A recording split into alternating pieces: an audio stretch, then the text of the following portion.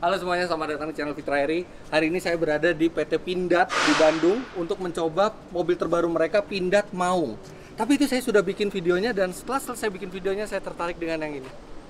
Pindad Anoa, Panzer, Panzer. Kalau misalnya mereka di sini menyebutnya Rampur, kendaraan tempur, 6 kali 6, 6 roda dengan penggerak 6 roda juga dan ini lapis baja tahan peluru. Mobil ini digunakan untuk mengangkut pasukan atau logistik dan sangat populer di jajaran TNI AD sampai sekarang ini sudah hampir 400 Anoa diproduksi sejak pertama kali diperkenalkan tahun 2006 oke yang ini saya nggak berani nyetir karena memang sangat rumit tapi saya dia mau diajak jalan-jalan pakai Anoa ini keliling ke test, tracknya dari PT Pindad. Wah ini mobil mahal. Perkiraan harganya kondisi basic belum ada senjatanya semua. Itu sekitar satu bukan satu miliar satu juta dolar. Sekitar 14 sampai 15 miliar rupiah tapi ini sudah uh, siap tempur semuanya tahan peluru bannya run flat tire mesinnya 320 HP ya nggak kencang tapi masih bisa membawa mobil ini sampai 100 km per jam.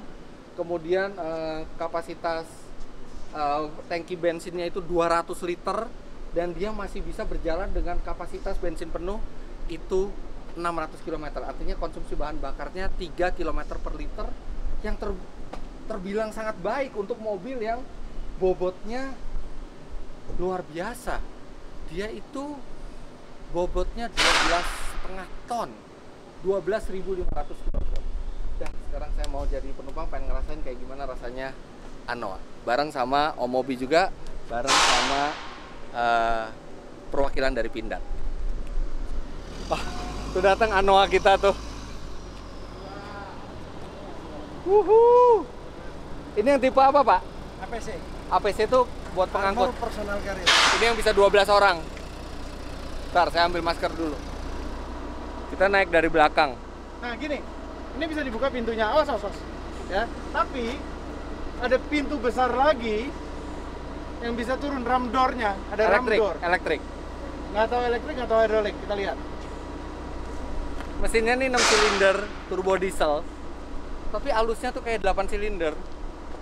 Ya nah. Udah udah udah terus. Terus. Terus. Karena ada pompa hidroliknya ya diinjek nggak apa-apa? Boleh. Diinjek silakan. Di, nggak kalau diinjek saya saya yakin nggak apa-apa. Diinjek dia nggak apa-apa juga. Hah? wah aman pak. Ayo. let's go. Oh ini tempat duduknya ini bisa dibuka? Bisa pak. palka nah kan terang Nanti mental masuk tutup sendiri nggak? Eh, enggak ada penguncinya Mesin di bawah sini ya? Apa? Mesin di bawah mesin sini. di tengah ya sana dikit om Ada yang naik? Ayo. ayo mau kita rasain nyaman apa enggak Rem door tutup.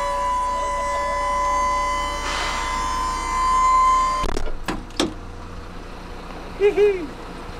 Gini nih rasanya jadi pasukan. dan benar-benar kita nggak bisa ngelihat apa yang di luar kecuali lewat jendela kecil itu jendelanya juga udah uh, bulletproof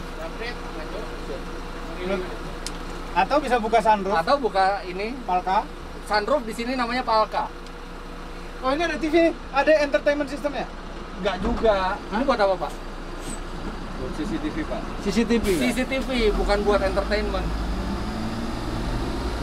Wah,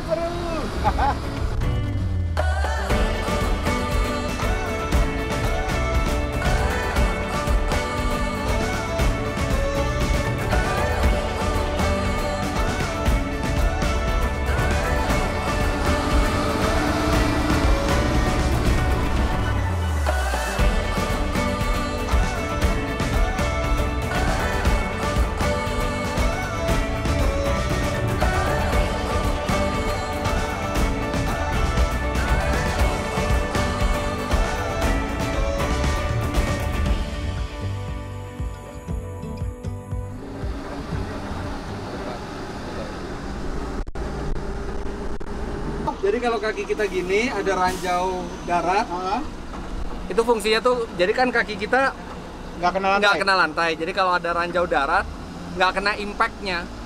Getarannya setidaknya berkurang lah. Iya sama. Padahal udah ada karet di sini juga.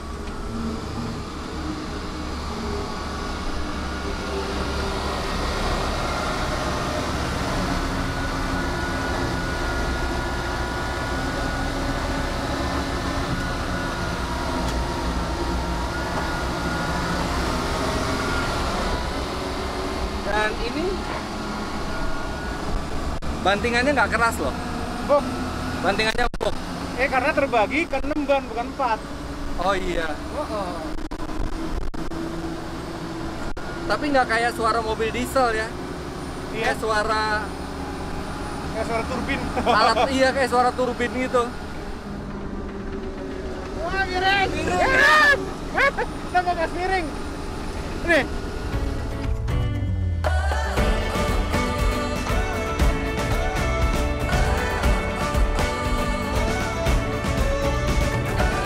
Pas dia ke atas, pas lewat rem yang miring lagi. Ya ada ginian.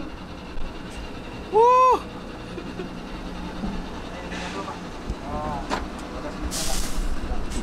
Asik, asik. Depannya kayak gimana? Nah.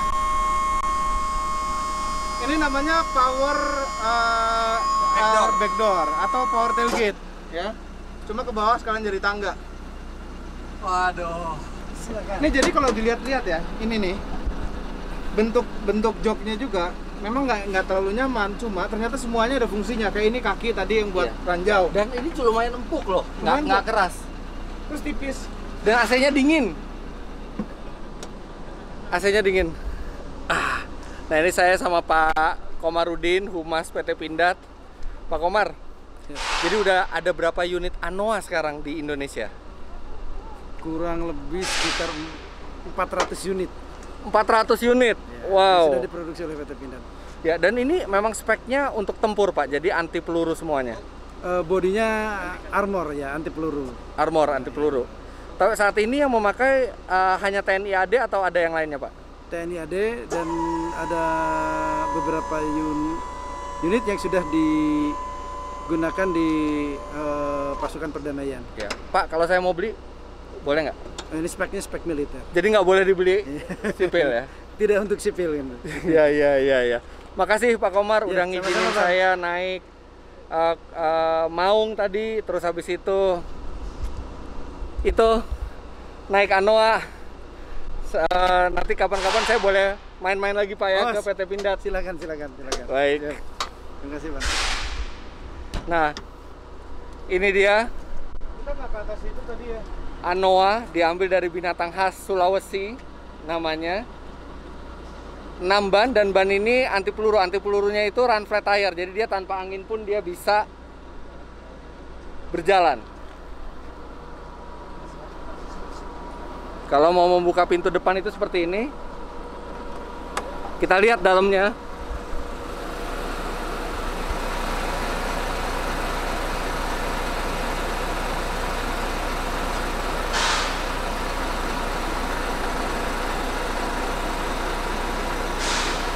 Bisa nggak? Naiknya sulit. Udah udah beperut soalnya. Perut Ah. udah beda. Ini benar-benar nggak ada kemewahan di sini, tapi ini kontrolnya wow, lengkap banget. Setirnya enteng dan transmisinya juga kecil. Matic. RPM-nya cuma sampai 2500, 3000 RPM. Eh, dieselnya halus. Ini sekarang posisi netral, saya gas.